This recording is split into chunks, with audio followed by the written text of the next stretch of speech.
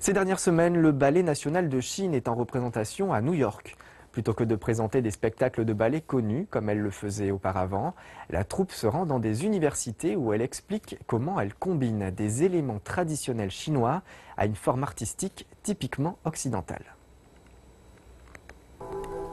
En ayant recours à l'essence de l'art occidental pour y incorporer des éléments chinois tels que la musique folklorique ou encore les arts martiaux, le ballet national de Chine rapproche les cultures. La troupe de danse classique de renom est à Manhattan pour 11 jours d'échanges culturels. Elle est dirigée par Feng Ying, ex-danseuse étoile et artiste chinoise dont la réputation n'est plus à faire.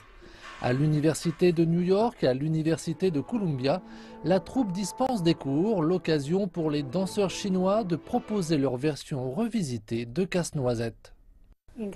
Nous souhaitons permettre aux étudiants de l'Université de New York et à l'Université de Columbia de mieux comprendre et d'apprécier le ballet chinois et comment celui-ci a grandi. Il s'agit aussi de susciter l'intérêt des plus jeunes pour la culture et les arts chinois.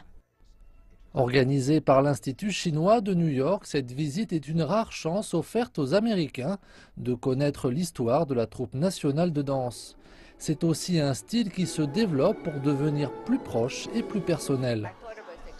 Je pense que c'est extraordinaire de leur part de mêler des éléments culturels chinois de la musique chinoise et des traditions chinoises dans un palais qui est un palais américain. Pour celui de Casse-Noisette, ils ont un peu changé l'histoire pour présenter la culture chinoise et c'est très intéressant. J'aime savoir qu'il peut prendre une histoire populaire et la modifier pour la rendre un peu plus intéressante. Lorsque l'on évoque les relations d'une façon générale entre la Chine et les États-Unis, on pense à des hauts et des bas. Il est tellement important de conserver des moyens de communication ouverts et d'encourager un environnement dans lequel on peut s'apprécier davantage. Il ne faut pas s'arrêter à ce qui se passe en ce moment au plan politique ou militaire, mais se concentrer sur un niveau plus profond, de peuple à peuple.